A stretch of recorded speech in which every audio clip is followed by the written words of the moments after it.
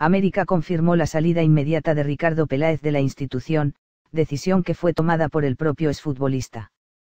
Para mi sorpresa el señor Peláez me confirmó su salida con la novedad de que sería efectiva a partir del día de hoy, viernes, y no al finalizar el torneo, mencionó John de Luisa, vicepresidente de Deportes de Televisa, en conferencia de prensa.